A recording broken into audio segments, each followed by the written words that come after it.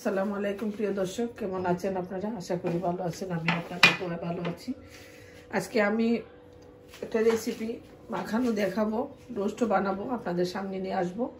আমি কি জিনিস দিয়ে মুরগিগুলা মাখাই সেই জন্য আপনাদের সাথে শেয়ার করতেছি। আসুন তাইলে আমি মুরগিগুলা মাখানোর জিনিসপত্র দিয়ে দিই। এখানে আমার লেবু আছে।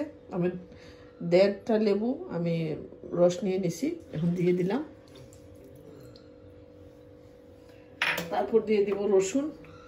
এই যে আমার এখানে রসুন আছে, দিয়ে দিলাম। সুন্দর করে আমি মাখিয়ে নিব। তারপর দিয়ে দিলাম আদা।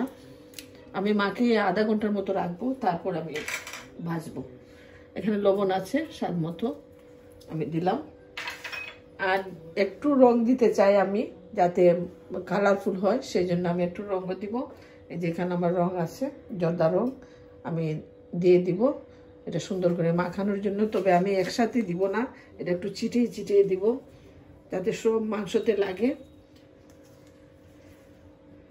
আমি এখন মাখিয়ে নেই, তারপর আপনাদের সামনে নিয়ে আসব। আসুন তাইলে আমি মাখাই। দেখেন মশলা মাখানোর পর কীরকম হয়েছে। এখন আমি ভেজে নিব, সে পর্যন্ত অপেক্ষা করবেন। দর্শক, আমি তেল দিয়ে দিলাম কড়াইতে ভাজার জন্য।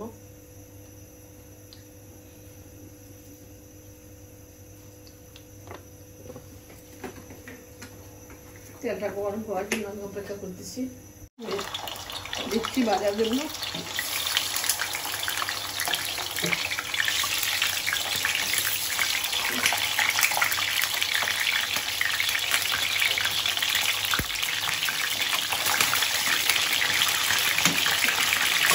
আমি দিয়ে দিব, যাতে কিছু না উঠে সে পর্যন্ত অপেক্ষা দিচ্ছি।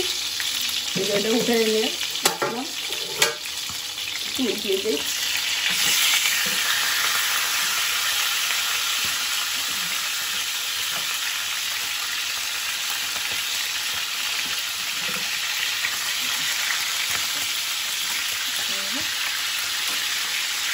বাজার করে আমি উঠিয়ে আবার ডাকা দিয়ে দিলাম যাতে তেলটা আমার থেকে সেই পর্যন্ত অপেক্ষা করবেন এখন আমি উঠিয়ে নিই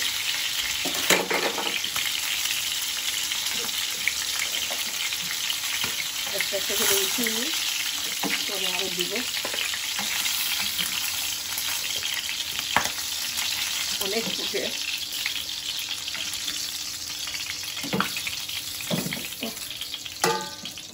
উঠিয়ে নিলাম।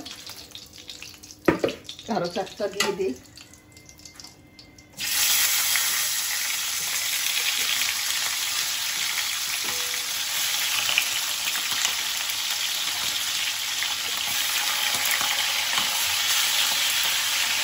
আবার ডাকা দিয়ে দিলাম, সে পর্যন্ত অপেক্ষা করব।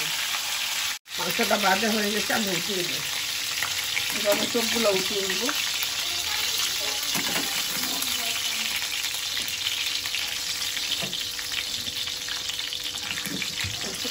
তারপর আমি রোস্টটা বানিয়ে ফেলব, সে পর্যন্ত অপেক্ষা করব।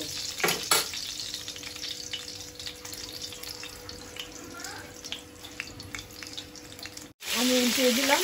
এখন ডাকা দিয়ে দিব পরে নামিয়ে রোস্টটা বানিয়ে ফেলব। দর্শক, আমি এখানে রোস্ট বানানোর জন্য সব মশলা রেডি করছি। আমার দেড় কাপ পেঁয়াজ আছে চার টেবিল চামচ আদা এক চামচ রসুন চার টেবিল চামচ দই এখানে এক চামচ মরিচ এক চামচ জিরা আর এক চামচ ধনে। আর আছে বাদাম বাটা চার টেবিল চামচ। আর দারচিনি পাউডার এলাচি পাউডার আর গোলমরিচের পাউডার এখন আমি রান্নাটা শুরু করব। আপনারা আমার সাথেই থাকবেন। আমি নামানোর আগে একটু টমেটো সস দিব, দর্শক। আর বেরেস্তা, লবণ এগুলা তো দিবই, কাঁচামরিচ। আসুন আমরা সব দিতে দিতে বলে দেই। বসাই দিচ্ছি। এখানে রোস্ট বাজার তেলটা আমি দিয়ে দিব।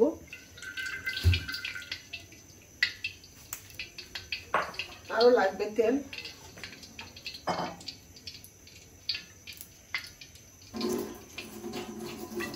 নামানোর আগে একটু ঘি দিব।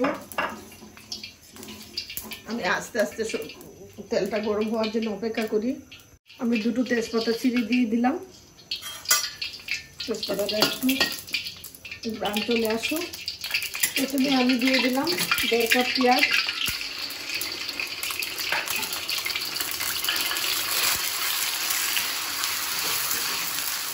আস্তে আস্তে আমি সব মশলা দিয়ে দিচ্ছি। আদা রসুনটাও দিয়ে দিচ্ছি।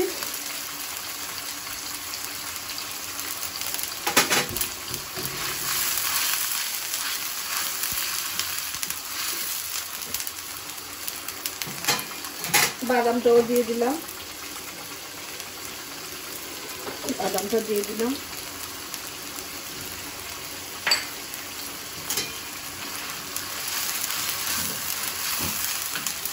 তারপর দিয়ে দিব দই। এই যে আমি দইটা দিয়ে দিচ্ছি। দই বাটিটা ধুয়ে একটু পানি দিয়ে দিব। একটু ধুয়ে দিচ্ছি।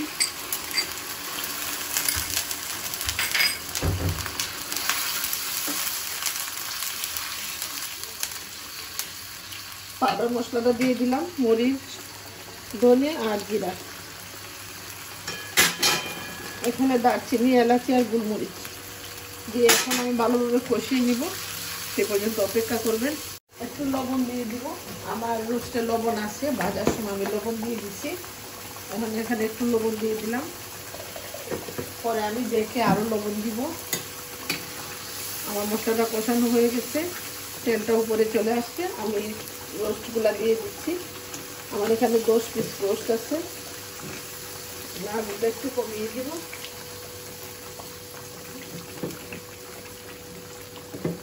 আমি কিছু বেরেস্তাও এখন দিয়ে দিব।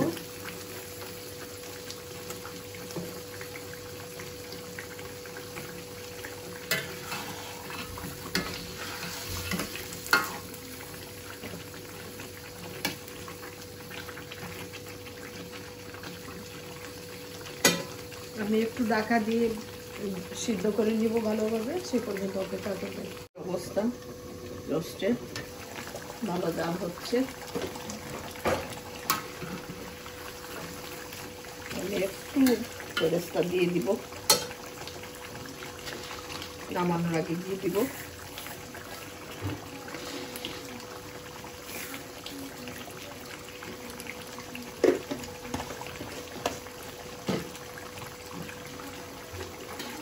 আমি হাফ হাফ কাপের চেয়েও কম, দুধ দিব।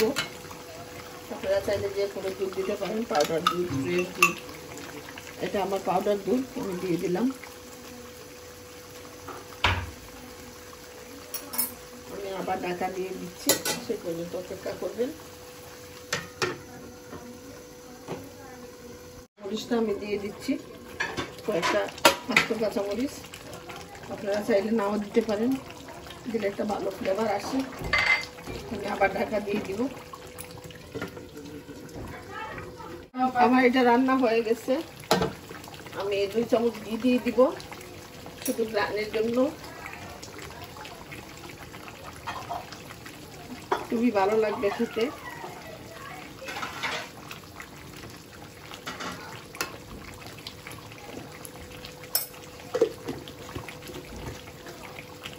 চুলাটা বন্ধ করে দিচ্ছি।